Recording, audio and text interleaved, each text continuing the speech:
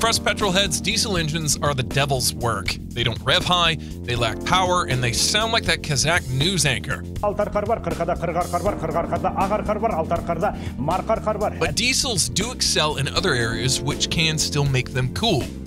Hey everyone, I'm Stype, and this is my list of the most impressive diesel cars ever. Tuk, tuk, tuk, tuk, tuk, tuk, tuk, tuk. Number 7. Dodge was actually the last of the Detroit trio to put a diesel engine in their truck, but because Cummins got involved, they did it the best. That's the company that specializes in making industrial diesel machines, and these guys knew exactly what a workhorse truck needed. Basically, it needed a 5.9 liter turbocharged straight six with 160 horsepower, and more importantly, a 400 pound foot of pulling power. That was more than any petrol option, or anything Ford or Chevy had to offer with their unturbocharged diesels. Over the years, the Cummins 6 got more displacement, more power, and more torques, a thousand of them, which is enough to pull up to 35,000 pounds. That's just the kind of numbers these dual wheelie heavy duty trucks are boasting. Also, they're as thick as Pixar's moms. As for the small size Ram, up until the fourth generation, it too had the 5.9 Cummins, which was kind of overkill. That thing was engineered for a much tougher workload, which meant that in the Ram 1500, there was a lot of untapped potential. And when there's potential, there's also a tuning industry set to exploit it. This resulted with some diesel trucks running 9 seconds on a quarter mile. That's not just fast, that's faster than the Bugatti Chiron. Number 6. Grand Tours are the ultimate mile munchers that offer sportiness, beauty, and luxury all wrapped in one. Those are Richmond toys, but fear not, my money sensitive friends, because the BMW 640D does the same job at just a fraction of the cost. It's a proper GT. Also, compared to its petrol twin, the 640i, the diesel version is outright better. It makes the same power, same top speed, sprints to 60 in about the same time, spins the rear wheels when happy, but it has a couple of advantages too, like the fuel efficiency. 49 mpg on the highway and 36 in the city means you'll be visiting the gas station far less often, and that means more money saved on fuel and fewer interruptions on a grand tour. It makes it a good daily driver too. And the torque 465 pound feet is second only to the M6, and because most of it lies in the lower rev range, it means that the 640D is ready to pick up its dress and sprint no matter what gear you're in. Also, if you want more practicality, there's the Gran Coupe version, which is simply the prettiest four door car ever made. There's a convertible too. And you know what? It doesn't sound bad at all.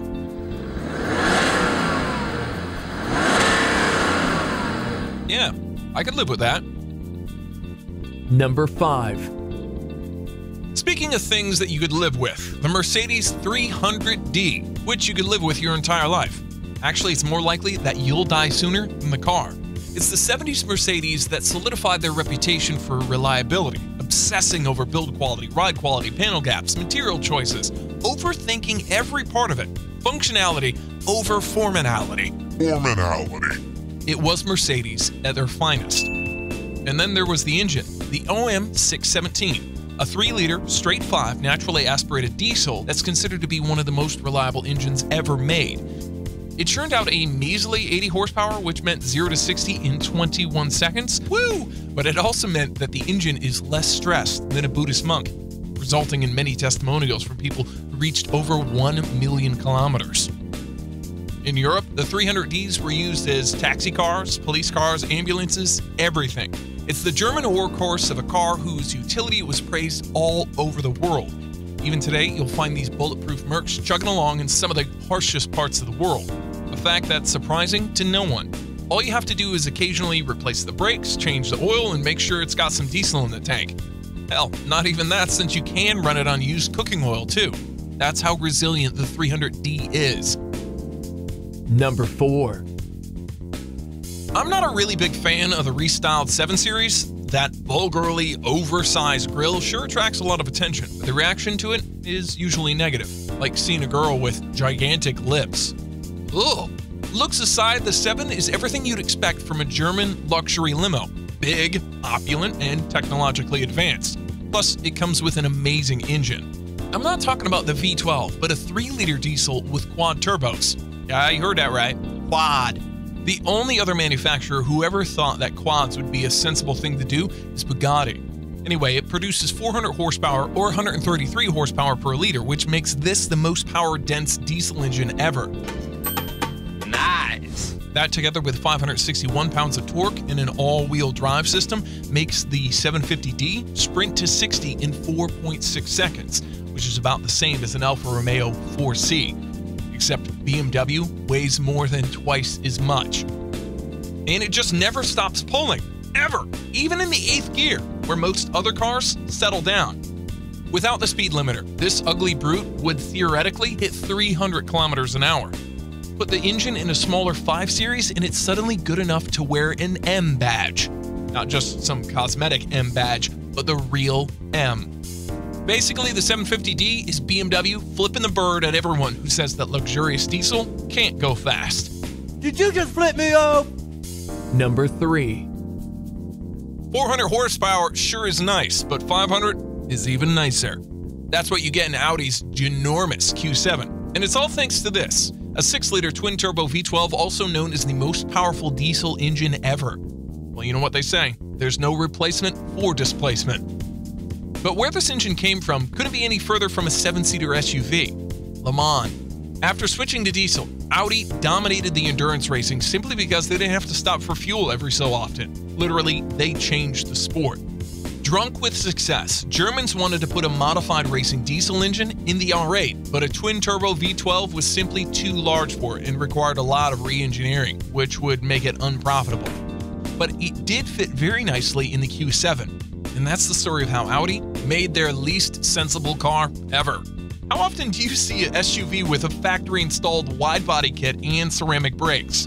Well, the racing brakes are more of a necessity since it weighs almost 6,000 pounds. However, it's the pounds feet of torque that you'll notice the most.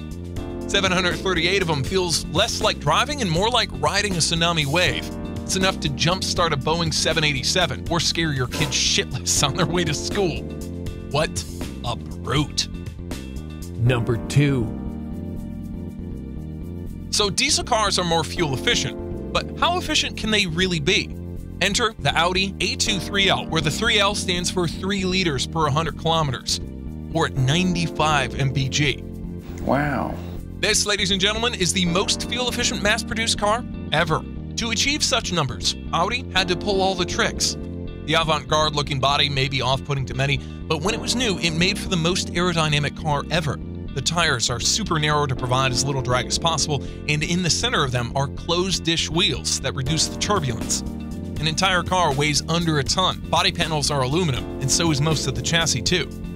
There are no optional extras to speak of. It only has one windshield wiper, and even the windows are made thinner to save a few grams. Remember when Clarkson raved about McLaren using this trick on their P1 hypercar? The glass is just 3.5 millimeters thick, 1.5 millimeters thinner than the glass in normal cars. There's more. The 1.2 liter engine block was made from a lighter alloy. Transmission was specifically designed for efficiency, and then there was the whole eco mode with its own trickery. Sadly, the A2 didn't sell well. It was cheap to run, but that doesn't make it a cheap Audi. It's just a small one. Number 1. If you would try to create the perfect car for as many situations, you'd probably end up with the Porsche Panamera Sport Turismo 4S diesel with Chrono Pack. Whew.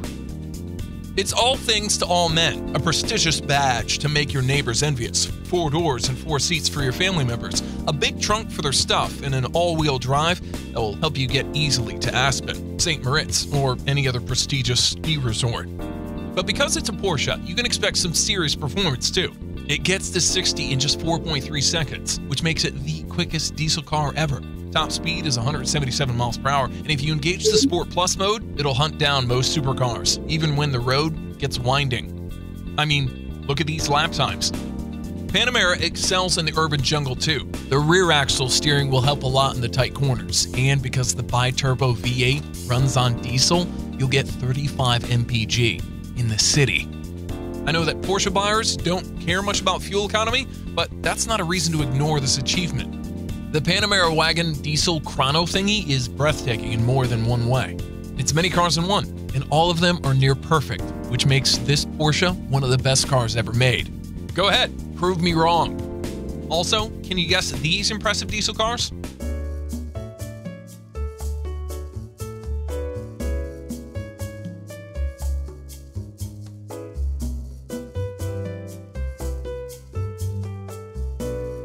Did you guess them? Write in the comments down below and make sure you vote which topic I should do next. Links will be everywhere.